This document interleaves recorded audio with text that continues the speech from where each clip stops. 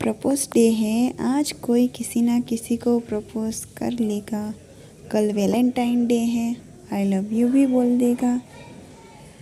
साथ निभाने की बात आएगी, समझने की बात आएगी, तब ब्रेकअप आजकल लोगों के लिए यही प्यार है। मैं नहीं कहती कि सच्चा प्यार नहीं होता। होता है, सबको होता है।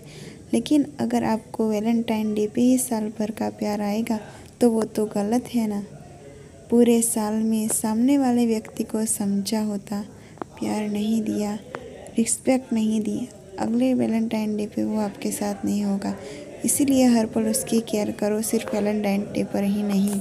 आपका कीमती समय निकाल कर हमारे वीडियो देखने के लिए आपका धन्यवाद। Subscribe my YouTube channel love shayari.